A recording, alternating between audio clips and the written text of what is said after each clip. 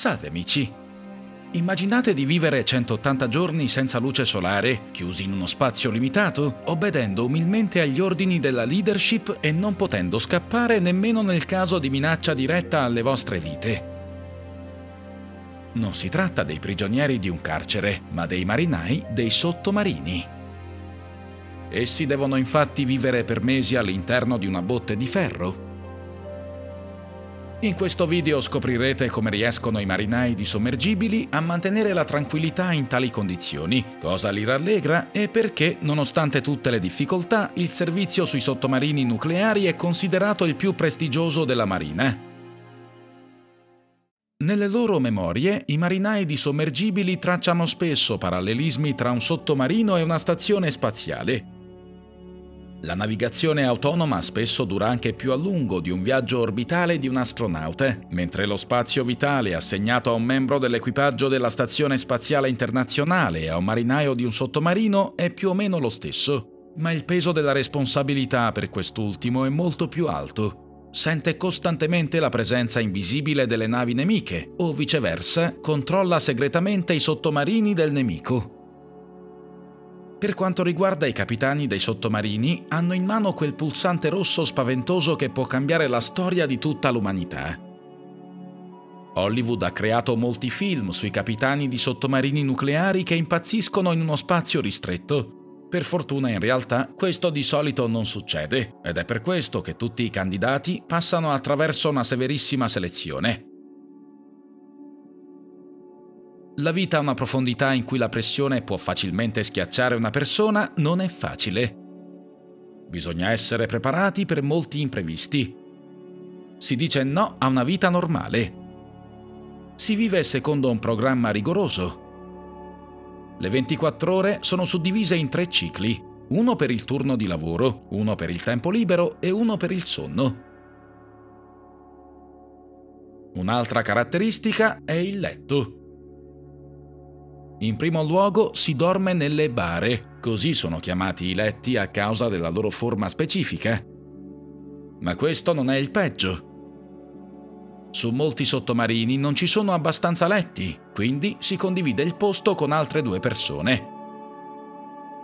Mentre uno è di guardia, il secondo dorme e il terzo trascorre il suo tempo libero da qualche parte nella sala da pranzo.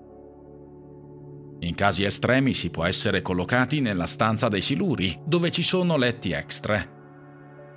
Inoltre, non lontano dalla zona di lancio c'è una sala macchine con un vero reattore nucleare. Sì, la maggior parte dei sottomarini moderni esiste solo grazie all'energia del decadimento radioattivo, che tra l'altro fa brillare in strano modo i marinai di notte. Ovviamente sto scherzando, ma l'aspetto del sottomarino con la luce notturna accesa sembra davvero il fotogramma di un film su spaventosi mostri marini. E voi fareste diventare una tale bestia di metallo la vostra seconda casa? Bene, se la risposta è sì, allora preparatevi. Avrete un massimo di 1,5 metri quadri per i beni personali e spazi così piccoli vi circonderanno ovunque.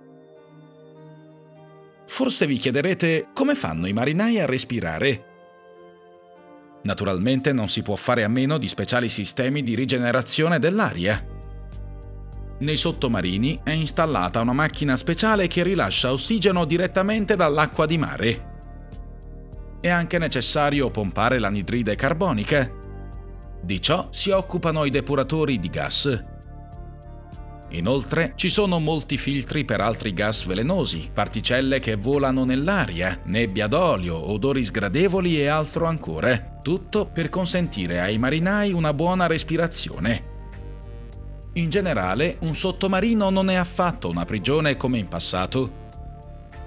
Nei sottomarini a diesel prodotti fino agli anni 60 del secolo scorso, i marinai dormivano su cuccette laterali proprio accanto alla loro postazione di servizio. È difficile da immaginare, ma per quasi tutto il tempo di navigazione i marinai di quegli anni si trovavano in stanze anguste non più grandi di 2 metri per 2. Ciò è molto peggio della reclusione, perché i criminali hanno almeno diritto all'ora d'aria. Ad esempio, la USS Pennsylvania nel 2014 ha stabilito il record per gli Stati Uniti per il pattugliamento più lungo di un sottomarino con missili balistici a propulsione nucleare, 140 giorni di navigazione. Durante questo periodo i marinai hanno ricevuto un massimo di tre brevi messaggi dai parenti, che ovviamente venivano letti in anticipo dai servizi speciali a causa del rigido regime di segretezza. Nei moderni sottomarini nucleari sono state create condizioni abbastanza confortevoli. Per quanto riguarda l'igiene, sono presenti docce e persino un bagno con una sauna rivestita di assi di legno, vi piacciono i trattamenti termali? C'è anche un solarium a bordo. È presente anche una piccola piscina di 2 metri per 4, riempita con acqua salata o volendo dolce, che si ottiene grazie a un impianto di desalinizzazione. C'è anche l'acqua calda, così potete farvi la doccia in tutta comodità. Di solito non è possibile lavare i vestiti. Dopo la doccia, i marinai ricevono set di vestiti puliti. Il cibo è delizioso.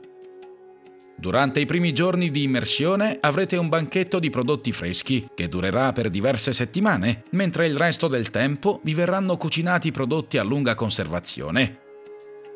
Da un numero relativamente piccolo di ingredienti, gli chef riescono a preparare molti piatti deliziosi. La dieta dei marinai di sottomarini è particolarmente selezionata perché a causa della mancanza di luce solare hanno bisogno di un set speciale di cibo. Ad esempio, potete trovare vino rosso secco, caviale rosso e cioccolato molto amaro. Non si può fare a meno di piatti a noi familiari, zuppe, uova sbattute, arrosti e persino lasagne. Non mancano neanche i dessert, torta di ciliegie, mele cotte e altro ancora ma dopo un pranzo abbondante bisogna riposarsi. Per fare questo televisori sono installati nelle sale da pranzo e condizionatori nelle cabine. Un vero e proprio hotel galleggiante. Quando siete stanchi di guardare film, avete a disposizione carte da gioco e giochi da tavolo, che rafforzeranno il cameratismo e aiuteranno a passare il tempo.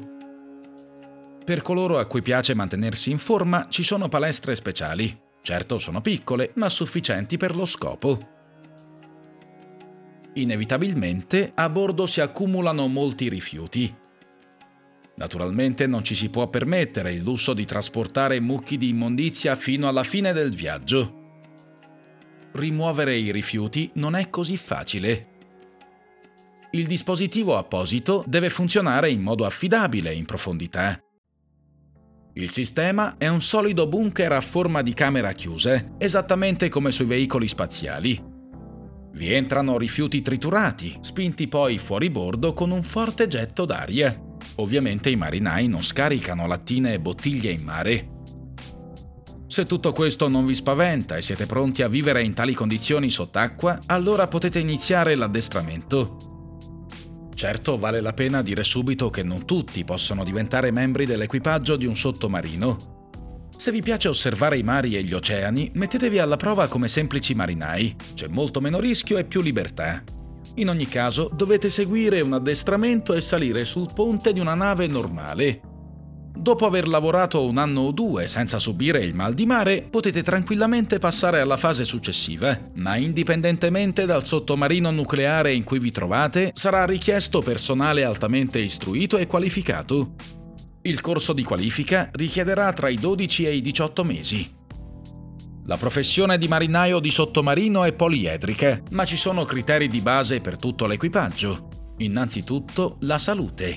Il sovraccarico associato alle immersioni subacquee, gli orari complessi e il lavoro in uno spazio ristretto influiscono negativamente sia sulla condizione fisica che sulla psiche. Non tutti i corpi possono resistere a questo e quindi bisogna essere completamente sani.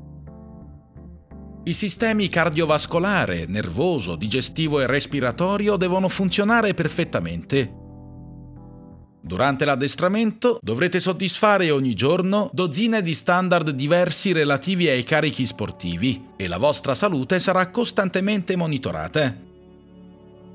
Se supererete questi test, verrete inviati a un addestramento di sei mesi, che comprende allenamento quotidiano, una dieta rigorosa e diverse simulazioni.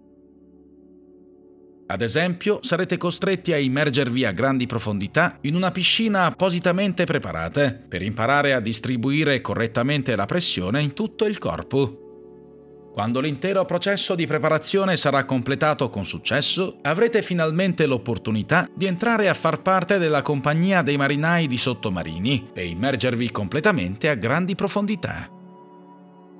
E non è tutto. Dovrete sopportare il primo anno da matricola su un sottomarino e solo allora potrete contare sul rispetto degli altri, essendo finalmente entrati a far parte di un gruppo elitario di marinai della Marina, con ottime opportunità di promozione, uno stipendio del 30-40% più alto rispetto ai marinai di superficie e future opportunità di lavoro sia nel settore militare che in quello civile. Con questo è tutto, amici. Allora, alla luce di tutto questo, voi decidereste di arruolarvi per una vita da marinai di sottomarini? Dite la vostra con un commento. Lasciate un like se il video vi è piaciuto e iscrivetevi al canale. A presto!